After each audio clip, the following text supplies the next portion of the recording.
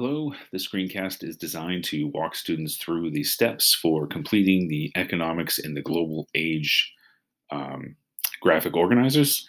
I had had some questions from students. There was some confusion, so I just wanted to go over this.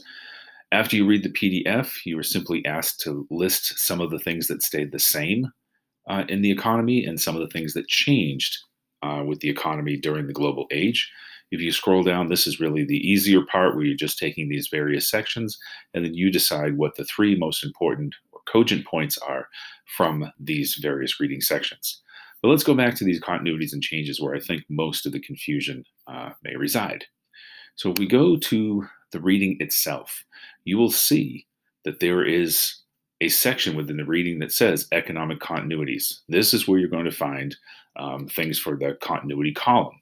For instance, although the economy was changing, um, for instance, that um, manufacturing was moving to different regions, the fact that manufacturing continued to play a key role in the global economy, that's something that stayed the same. Whether we're talking about the global economy or the economy pre World War II, uh, manufacturing always played a key role. And if you keep scrolling down here, you'll see other things. For instance, labor issues were a concern, uh, free trade organizations, and the fact that you wanted to, um, that tariffs existed, and tariffs were sometimes supported and tariffs were sometimes um, not supported.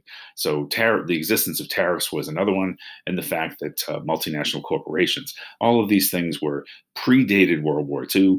Uh, multinational corporations go back to the age of exploration, so uh, and continued throughout the imperial period of European dominance around the globe that we talked about in the um, late 19th and early 20th century.